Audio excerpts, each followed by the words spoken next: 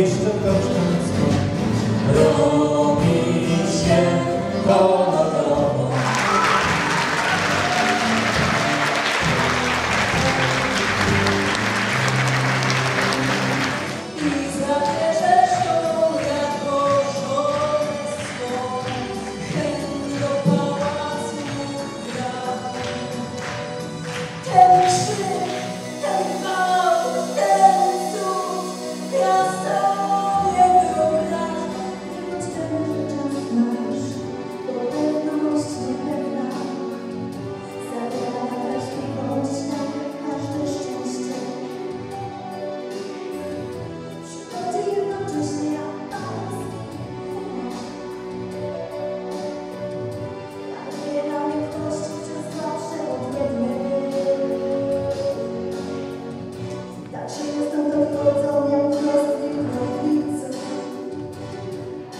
Piąty y, festiwal piosenki zorganizowany przez y, y, dyrektora y, szkoły podstawowej w Lipkach Wielkich, pana Ferdynanda Sankę. Piąty festiwal piosenki odbył się w setną rocznicę odzyskania niepodległości przez Polskę. Jest to impreza, która wchodzi w skład wszystkich uroczystości szkolnych, które organizujemy w Lipkach Wielkich z okazji Święta Niepodległości. E, Gratuluję przede wszystkim uczestnikom e, dzisiejszego festiwalu piosenki. Zawsze staram się wspomagać e, młode talenty i wielkie słowa uznania dla rodziców. Kochani rodzice, możecie być dumni, macie wspaniałe dzieci.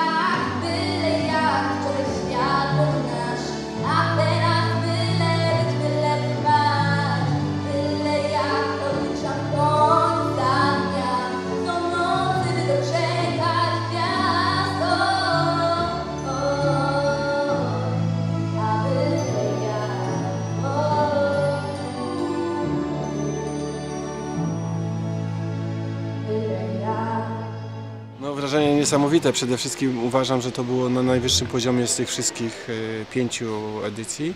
Nie dość, że wokalnie widać, że co roku te dzieci coraz lepiej śpiewają, ale sama organizacja i występy zespołu tanecznego i występy zespołów e, muzycznych, które tutaj dodatkowo były, podniosły w znacznym stopniu ten poziom dzisiejszej e, imprezy muzycznej. Także cieszę się i dziękuję przede wszystkim panu dyrektorowi Ferdynandowi Sańko za organizację, bo robi to perfekcyjnie.